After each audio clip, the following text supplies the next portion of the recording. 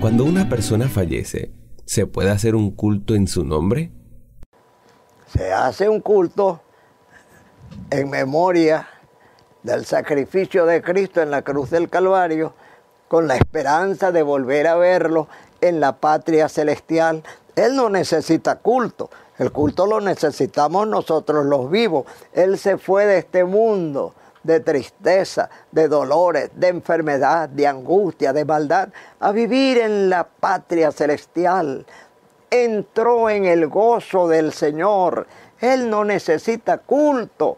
El culto lo necesitamos nosotros los que estamos batallando.